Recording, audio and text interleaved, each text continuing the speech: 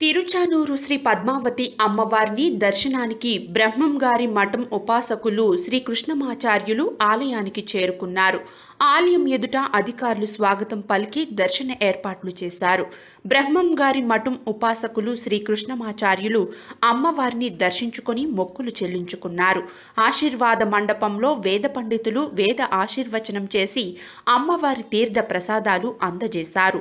ఈ కార్యక్రమంలో deputy EO Jhansirani superintendent Malleswari ఆలయ అధికారులు తదితరులు పాల్గొన్నారు. కొద్దిగా